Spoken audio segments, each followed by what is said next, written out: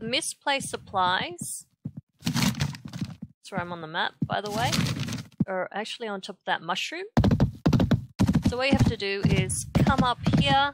I find it's easier to jump up on this mushroom, then back onto this big rock, and up here. So another one I'll have to come back and loot, but there you go.